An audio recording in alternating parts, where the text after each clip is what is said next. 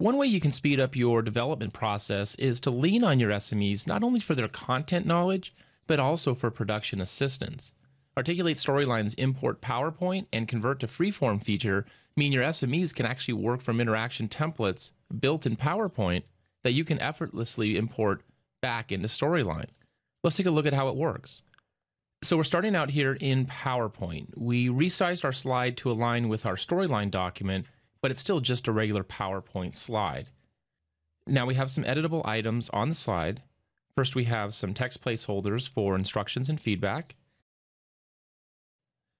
And next we have some image placeholders for both the drop targets and the drag items.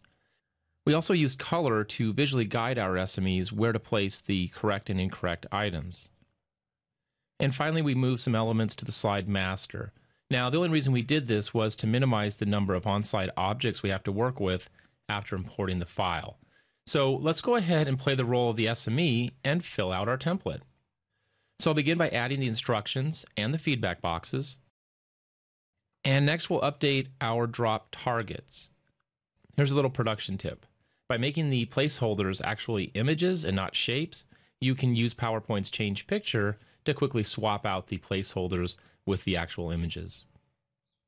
And now we'll update the healthy and unhealthy placeholders. So that's all we need from PowerPoint. We can save and close our document. In the next movie, we'll import our PowerPoint file and use Storyline's Convert to Freeform feature to finish our interaction.